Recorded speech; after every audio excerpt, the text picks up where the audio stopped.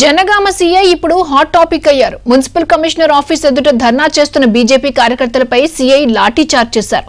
దీంతో బీజేపీకి CI target అయ్యారు. బీజేపీ నేతలు ఇవాళ చలో జనగామకు పిలుపునిచ్చారు. ఆ సీఐ ధనాధన్మణి జీప్ దిగారు. నేరుగా వెళ్ళి ధర్నా చేస్తున్న బీజేపీ కార్యకర్తలను నేతలపై లాఠీ చార్జ్ చేశారు.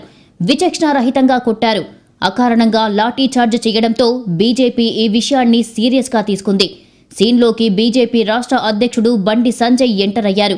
ఇవాళ బీజేపీ ఆధ్వర్యంలో నిర్వహించే చలో జనగామ కార్యక్రమంలో బండి సంజయ్ పాల్గొననున్నారు. స్వామి వివేకానంద జయంతి సందర్భంగా జనగామ పట్టణంలో బీజేపీ కార్యకర్తలు పలు కూడళ్ళలో ఫ్లెక్సీలు ఏర్పాటు చేశారు.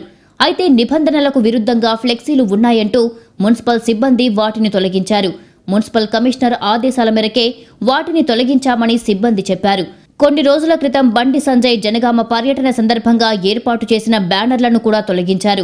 అయితే ఉద్దేశపూర్వకంగానే ఫ్లెక్సీలు తొలగించారని భావించిన బీజేపీ కార్యకర్తలు ఆందోళనకు దిగారు. మున్సిపల్ కమిషనర్ అధికార పార్టీకి కొమ్ము కాస్తున్నారని వెంటనే సస్పెండ్ చేయాలని డిమాండ్ చేస్తూ జనగామలో బీజేపీ నిరసన చేపట్టింది. మున్సిపల్ కమిషనర్ కార్యాలయం ఎదుట ధర్నా చేశారు. తర్వాత అక్కడికి చేరుకున్న సీఐ మల్లేష్ నిరసన వ్యక్తం చేస్తున్న వారిపై లాఠీచార్జ్ చేశారు. సీఐ తీరును వ్యతిరేకిస్తూ ఇవాళ నిర్వహించే చలో జనగామలో బీజేపీ రాష్ట్ర అధ్యక్షుడు బండి సంజయ్ పాల్గొననున్నారు. దీంతో నిరసన కార్యక్రమం పెద్దగానే ఉండనుంది. ఇరవై నాలుగు గంటల్లో సీఐపై చర్యలు తీసుకోకుంటే తర్వాత డీజీపీ కార్యాలయాన్ని కూడా ముట్టడించేందుకు ప్రణాళిక రూపొందించింది బీజేపీ. బీజేపీ నేతలు చలో జనగామకు పిలుపునివ్వడంతో ఒక్కసారిగా జనగామ జిల్లాలో హీట్ పెరిగింది. పోలీసులు అప్రమత్తమయ్యారు. ఎలాంటి అవాంఛనీయ సంఘటనలు జరగకుండా చర్యలు తీసుకుంటున్నారు.